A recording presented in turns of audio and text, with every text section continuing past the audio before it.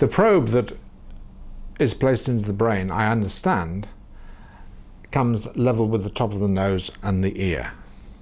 And it is connected to a battery in my chest, in, in, my, uh, underneath the skin in my chest here. And this is controlled.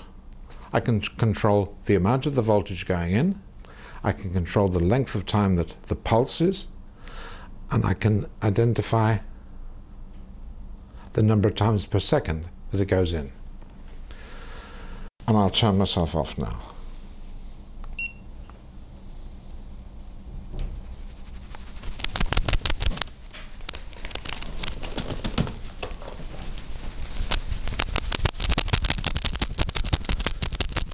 So one of the problems is not only as you can appreciate is that you can't do very much for yourself. The whole personal hygiene has to be done by somebody else. But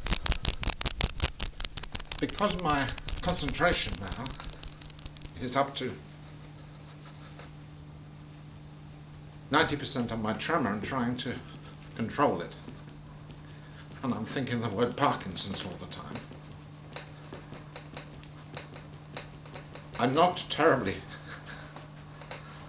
Uh, I'm not concentrating on my conversation with you at all.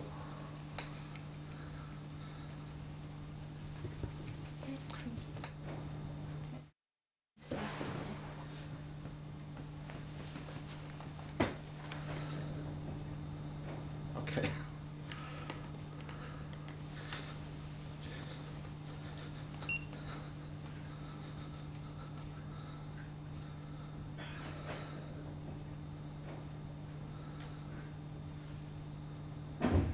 You can see it's quite